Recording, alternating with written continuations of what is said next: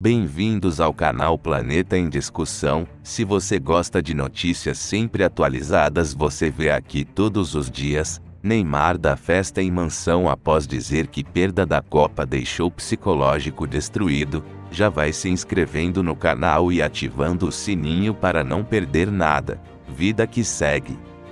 Mesmo com o Brasil eliminado da Copa do Catar, alguns jogadores da seleção brasileira decidiram se reunir para uma festinha em sigilo.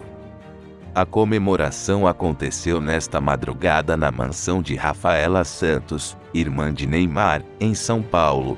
O único amigo compartilhado por Neymar nas redes sociais foi Gabriel Medina.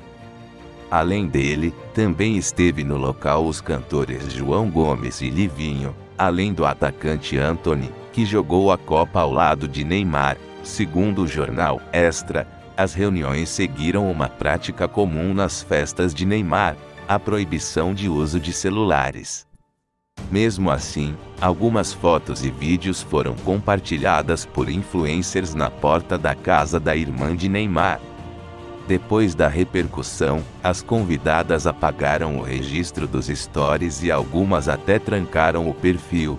Outra convidada não obedeceu a ordem de não usar celulares e postou vídeos dela e de outras mulheres saindo animadas da festa, já com o dia amanhecendo. Nas imagens, é possível ver a mansão de Rafaela, além da marcação do lugar e também de Neymar pelo visto, rendeu. Alguns internautas em suas redes sociais criticaram a festa e outros apoiaram. Então não esqueça, já deixe seu comentário, sua opinião é muito importante para sabermos se vocês estão gostando das notícias, e já nos fale o que acharam da festinha do com Neymar após eliminação da Copa, não perca as próximas divulgações do canal, já deixe seu like e compartilha o vídeo. Créditos da reportagem para o site Extra.